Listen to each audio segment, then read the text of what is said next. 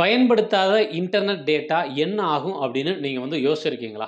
நம்ம இப்போ எல்லாருமே மொபைலுக்கு ரீசார்ஜ் பண்ணும்போது ஒரு மாதத்துக்கு ரீசார்ஜ் பண்ணுவோம். அப்படி ரீசார்ஜ் பண்ணும்போது உதாரணத்துக்கு ஒரு நாளைக்கு இரண்டு ஜிபி அந்த வகையில் தர்றாங்கன்னா, 30 நாளைக்கு அறுபது ஜிபியை நம்ம வந்து பயன்படுத்திக்கலாம் அப்படின்னு சொல்லுவாங்க. இந்த 60 ஜிபியையும் நம்ம வந்து முழுமையாக யூஸ் பண்ணிடுறோமா அப்படின்னு பார்த்தா கண்டிப்பாக கிடையாது. ஒரு நாளைக்கு ஒரு ஜிபி தான் யூஸ் பண்ணுவோம். ஒரு நாளைக்கு யூஸ் பண்ணாமலே இருப்போம். ஸோ அப்படி இருக்கும் பொழுது இந்த பயன்படுத்தாமல் இருக்கக்கூடிய மீதி இன்டர்நெட் டேட்டா என்ன ஆகும் அப்படிங்கிறது தான் இன்றைக்கி இந்த வீடியோவில் நம்ம பார்க்க போகிறோம் நான் உங்கள் கிளாரட். நீங்கள் பார்த்துட்டு இருக்கிறது சரக்கு கப்பல். இப்போ உதாரணத்துக்கு என்கிட்ட நூறு ஜிபி இன்டர்நெட் டேட்டா இருக்குது அப்படின்னு வச்சுக்கிருவோம். நீங்கள் என்கிட்ட இன்டர்நெட் கனெக்ஷன் கேட்டு வந்திருக்கீங்க. வரும்பொழுது நான் என்ன சொல்கிறேன்னா ஒரு நாளைக்கு இரண்டு ஜிபி நீங்கள் பயன்படுத்துறதுக்கு உண்டான அனுமதியை நான் வந்து தந்துடுறேன். அப்படி 50 நாளைக்கு இரண்டு ஜிபி வீதம் நீங்கள் வந்து இந்த நூறு ஜிபியை பயன்படுத்திக்கிறலாம். அதற்கு ஆயிரம் ரூபாய் நான் வந்து கட்டணமும் வசூலிச்சுக்கிறேன். இந்த நேரத்தில் நான் சொன்ன ஒரு வார்த்தையை நீங்கள் வந்து தெளிவாக கவனிச்சிங்களான்னு தெரியலை இந்த இன்டர்நெட் டேட்டாவை பயன்படுத்துறதுக்குண்டான அனுமதியை தர்றேன் அப்படின்னு தான் சொன்னேன். பொதுவாக இந்த நெட்வொர்க் ஆப்பரேட்டர்ஸ் எல்லாருமே என்ன பண்ணுவாங்கன்னா, அந்த இன்டர்நெட் டேட்டாவை பயன்படுத்துறதுக்கு உண்டான அனுமதியை தான் நமக்கு வந்து தருவாங்க. இன்டர்நெட் டேட்டாவை வாங்கி அதை பயன்படுத்துறதுக்கும், இன்டர்நெட் டேட்டாவை பயன்படுத்துறதுக்கு உண்டான அனுமதி வாங்குறதுக்கும் நிறையவே வித்தியாசம் இருக்குது இப்போ உதாரணத்துக்கு நான் இன்டர்நெட் டேட்டாவை வாங்கிட்டேன் அப்படின்னா, அதாவது ஒரு ஆயிரம் ரூபாய் கொடுத்து நூறு ஜிபி டேட்டாவை நான் வந்து வாங்கிட்டேன்னா, அந்த நூறு ஜிபி டேட்டாவை என்னால் எப்பயுமே யூஸ் பண்ணிக்க முடியும்.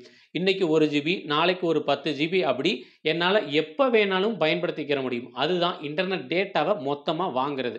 ஆனால் இந்த நெட்வொர்க் ஆப்ரேட்டர்ஸ் எல்லாருமே என்ன பண்ணுவாங்கன்னா, அந்த டேட்டாவை பயன்படுத்துறதுக்கு உண்டான மட்டும்தான் நம்மக்கிட்ட தருவாங்க. அந்த அனுமதியை மட்டும் நம்மக்கிட்ட தர்றதுனால, இன்றைக்கி ரெண்டு ஜிபி பயன்படுத்துறதுக்கு நமக்கு அனுமதி இருக்குது அப்படின்னா, அந்த ரெண்டு ஜிபி வரை நம்ம வந்து பயன்படுத்திக்கிறலாம். இப்போ ஒரு ஜிபி தான் நம்ம வந்து பயன்படுத்துகிறோம் அப்படின்னா, மீதி ஒரு ஜிபியை அதை வந்து அவங்களே வச்சுக்கிருவாங்க. இப்போ உதாரணத்துக்கு 30 நாளைக்கும் 2, 2 ஜிபி நமக்கு தர்றாங்க அப்படின்னா, நம்ம ஒவ்வொரு நாளுமே ஒரு ஒரு ஜிபி தான் பயன்படுத்தணும் அப்படின்னா, மீதி இருக்கிற முப்பது ஜிபியை நம்மளால் பயன்படுத்தவே முடியாது. அது அவங்க கிட்ட தான் இருக்கும். ஏன்னா, நம்ம இன்டர்நெட் டேட்டாவை அவங்க கிட்ட இருந்து வாங்கலை அவங்க கிட்ட இருந்து இத பயன்படுத்துறதுக்கு உண்டான அனுமதியை தான் வாங்கியிருக்கோம். அப்போ நம்ம பயன்படுத்தாமல் இருக்கிற மீதி 30 ஜிபி டேட்டா அவங்க கிட்ட அப்படியே தான் இருக்கும். நம்ம மறுமாதம் ரீசார்ஜ் பண்ணும்பொழுது, நம்ம பயன்படுத்தாமல் இருந்த அதே முப்பது ஜிபியை தான் அவங்க வந்து நம்மக்கிட்ட மறுபடியும் காசு கொடுத்து தருவாங்க.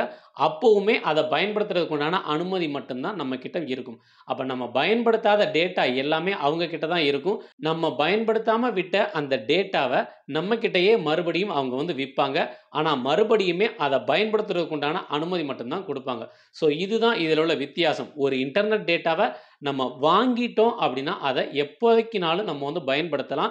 இன்றைக்கி நம்ம கொஞ்சம் தான் யூஸ் பண்ணியிருக்கோம் அப்படின்னாலுமே, மீதி இருக்கக்கூடியதை நம்ம வந்து எப்போ வேணாலும் யூஸ் பண்ணிக்கிறலாம். அதற்கு வந்து காலக்கெடுவே இல்லை ஆனால் அந்த இன்டர்நெட் டேட்டாவை பயன்படுத்துறதுக்குண்டான அனுமதி கொடுக்கும் பொழுது, ஒரு நாளைக்கு ஒரு ஜிபி வரை நம்ம பயன்படுத்தலாம். அதற்கு கம்மியாக இருந்தால் மீதி இருக்கிற அந்த இன்டர்நெட் டேட்டாவை அவங்களே எடுத்துப்பாங்க. அதை தான் ரொட்டேஷனில் நமக்குமே கொடுப்பாங்க இந்த மாதிரி தான் நம்ம பயன்படுத்தாமல் விட்ட நம்மளுடைய இன்டர்நெட் டேட்டாவை மறுபடியும் நமக்கே அவங்க வந்து காசுக்கு விற்பாங்க இன்னும் நிறைய புதுமையான விஷயங்கள தெரிஞ்சுக்க தொடர்ந்து நம்ம சரக்கு கப்பல் சேனலை ஃபாலோ பண்ணுங்கள்